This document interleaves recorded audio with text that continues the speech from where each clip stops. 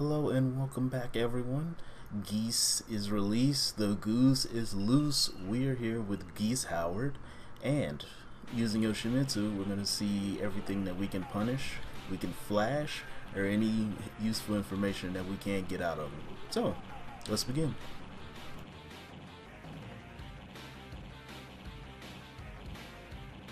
Let's start off with the Rage Art. Geese Howard's Rage Art is an unblockable high. Please be sure to duck this move whenever you see it. Geese's traditional 4 plus 1 starter for his combos is actually negative 15 on block if you can believe it. Geese Howard's single Reppuken is actually negative 13 on block, but in order to properly punish this move you have to be directly in his face to be able to get the punish off. And Geese Howard's double Reppuken mids, believe it or not, are actually negative 15 or higher on block. Uh, it does require tight execution to pull off, and you have to be in range zero, just like the normal Reppukens. As you can see, I'm even I'm having a hard time with this.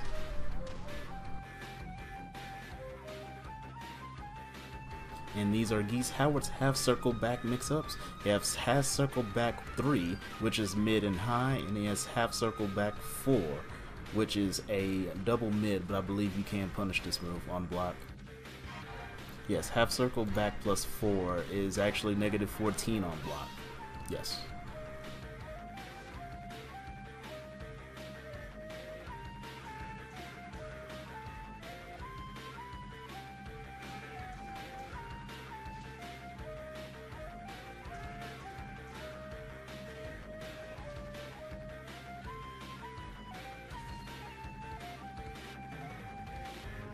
Geese Howard also comes with a couple of mid-air Reppukens, and these are actually negative 15 on block as well. With the pushback and the actual jumping back that he does, he does have a hard time actually being punished, but for Yoshimitsu, a well-timed crouch dash 1 or a Fubuki knee that actually hits him will actually be suffice.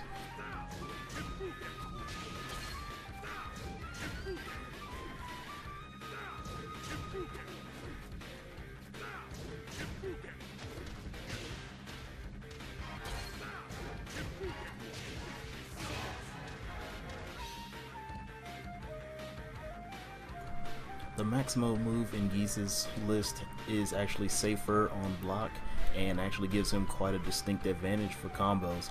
Also, his, oh man, I, I can't even pronounce this. His down back, half circle back, down 4, 1 plus 2 is actually negative 17 on block. However, I don't have the execution right now to be able to do this for you in practice mode. Sorry. Geese Howard has a 1-2-2 combo that does jail on block. You can duck the second hit and uh, be able to duck the third hit too, but if you do get hit by the second hit, the third hit jails, but regardless of which, it is negative 12 on block. He has a 1-2-1-1 string and a 1-2-1-2 string. The 1-2-1-2 actually has a super move at the end of it. This one with the ending with the normal high is negative 15 on block. Geese has a 1, 2, 3 string. This is high, mid, high. Uh, the best thing you want to do is just deduct this string as much as humanly possible.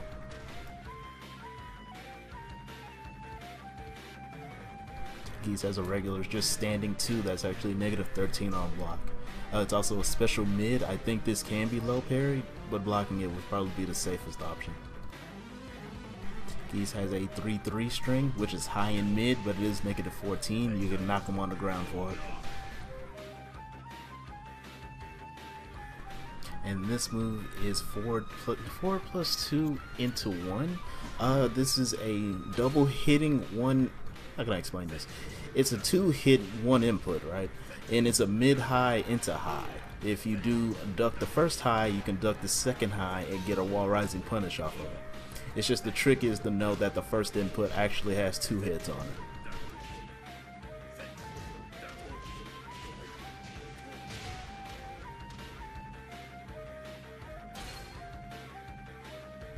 Up next we have a 4 plus 4, which is just a solid negative 13 on block, I think. Negative 13? Yes, negative 13 on block. Up next, I got a 50-50 for you. I got a down forward 1 into 1 and a down forward 1 into 4.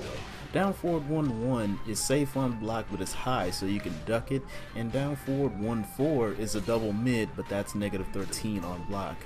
Please punish accordingly.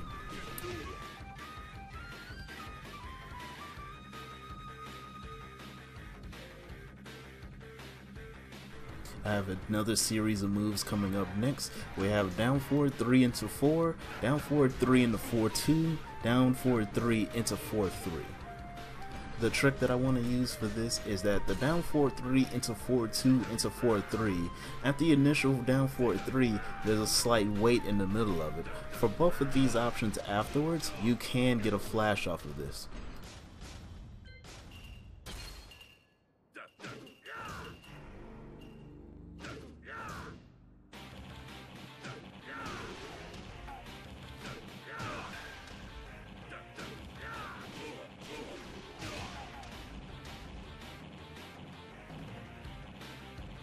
Up next we have a generic, well not a generic down low, but we have a D plus 4 for Geese Howard.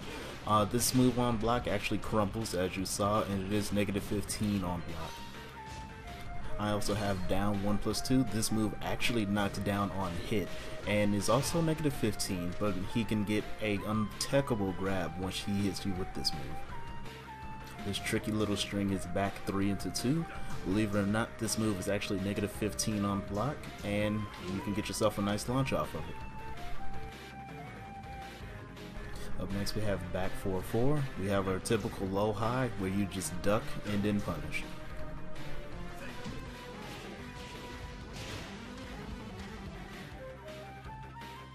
This move is wall standing 2 into 4 plus 2 only on hit.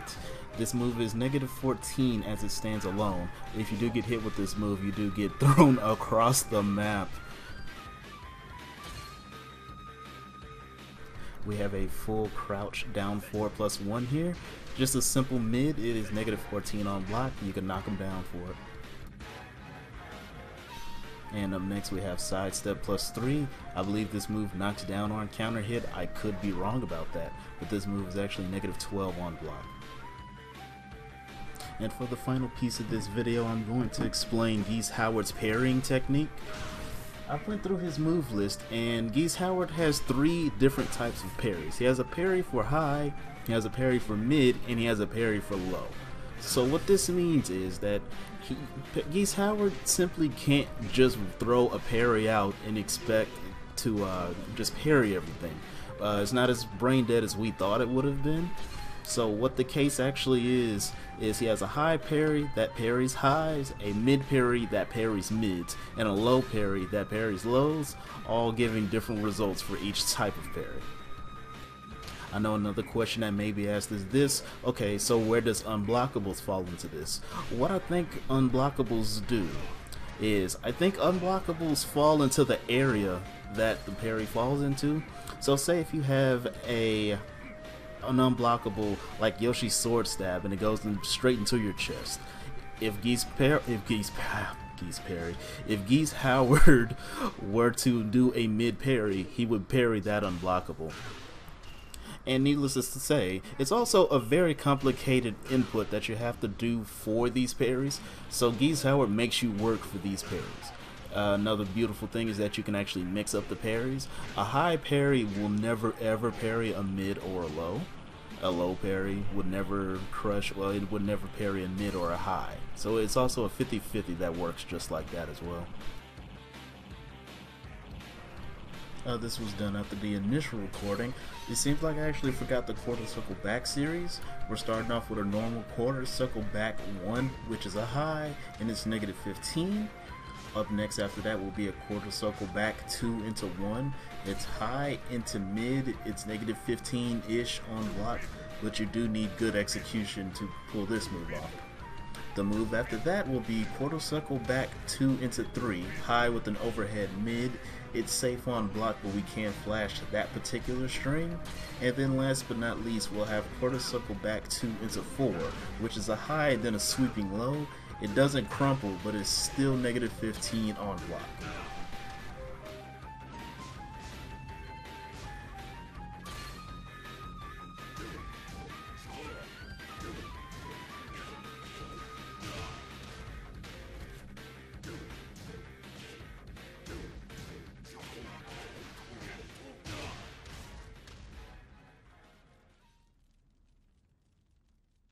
And ladies and gentlemen, this marks the end of my video. Thank you for watching. Please subscribe to my channel if you're new. Please give my video a like if you did enjoy it. Please drop a comment just to tell me how I can do this video better. My name is Eddy, this is Tekken 7, and I will see you guys next time. Peace out. Maybe write some shit, talk about life and shit, on some other type of shit. It's in my blood, so I don't fight it no more. So send word to my niggas, I'm not retired no more. Cash.